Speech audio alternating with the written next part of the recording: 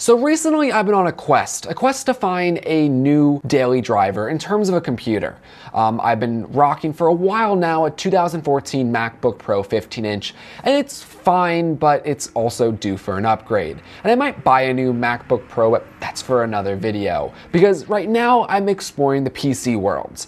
You know, I did a review on a Dell 15 inch 7577 gaming edition, and that was, was a fine computer, but it had its quirks that I wasn't too happy about. So in front of me, I have my next try at the PC world. This is the Alienware 13 inch R3. I actually basically bought this from Trevor. Trevor bought this several months ago and he was enjoying it, but I ended up trading him another MacBook Pro for it. So I have this computer.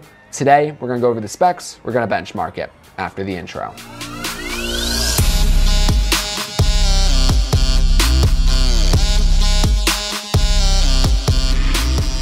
So like I said in front of me, I have an Alienware 13-inch R3. This is rocking an i7 7700 HQ processor clocked at 2.8 gigahertz Comes with 16 gigabytes of RAM, a 512 gigabyte SSD. It's a M.2 drive. There's no 2.5 inch hard drive bay or anything in this computer. It's a relatively small computer in all honesty. The GPU is an NVIDIA 1060. Obviously not the highest end GPU, but something that's gonna be really good, especially for what I need this for. So all in all, specs are pretty modest. Now, in terms of price, I think Trevor said he got this for about $1,800, and I'm trying to find the same config online, and I am having some trouble doing so.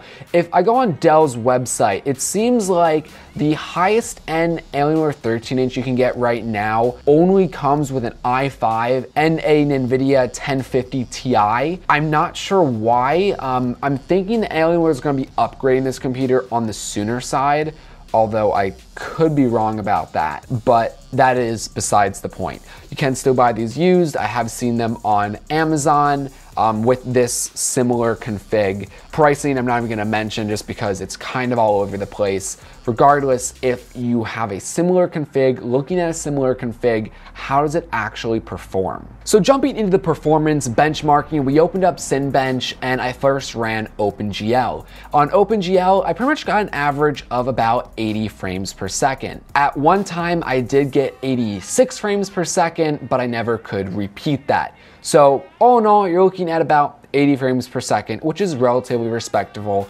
for this GPU. In terms of the CPU, again on Cinebench, I got a respectable score of 706. Now I will say, this computer, in the BIOS, there is a performance mode you can turn this computer onto. It's gonna spin up your fans really loud, it sounds like a freaking hair dryer, but I did improve my score and it was about 723, 724. So not a huge speed improvement there, but a speed improvement nonetheless. Although I don't use this in high performance mode because like I said, it sounds like a hair dryer.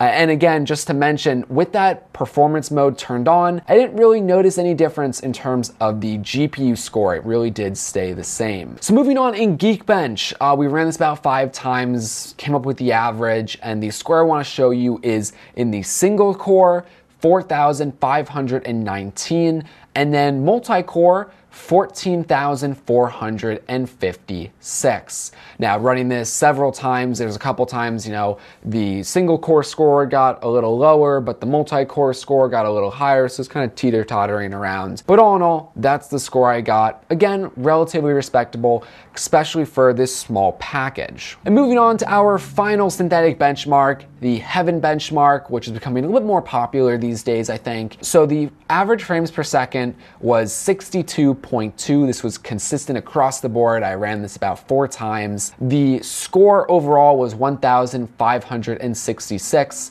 We had a minimal frames per second of 15. I don't know why so low there, but maximum frame rate of 135 frames. Again, definitely not bad. So all in all, with those basic benchmarks, honestly, I was relatively happy with the performance I'm getting out of this machine so far. Something hugely to note about this machine is the cooling. It does phenomenal in the cooling department, no thermal throttling whatsoever. Really happy about that. Can't say that about my uh, MacBook Pro on the other hand. So those are the synthetic benchmarks I wanted to run on the Alienware 13 R3. If you're interested in doing some gaming benchmarks, running some actual games, running the scores, seeing what frame rates you get, let me know in the comment section below and I'll start working on that.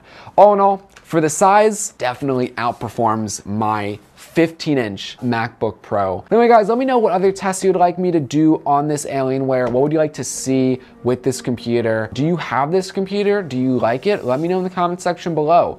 I'm looking to make this my daily driver. However, it's hard to get away from Mac OS X with Final Cut Pro for my video editing. So I don't know. We'll find out in the next video. Or probably not the next video, but in a future video. Anyway, guys, I'll catch you in the next one.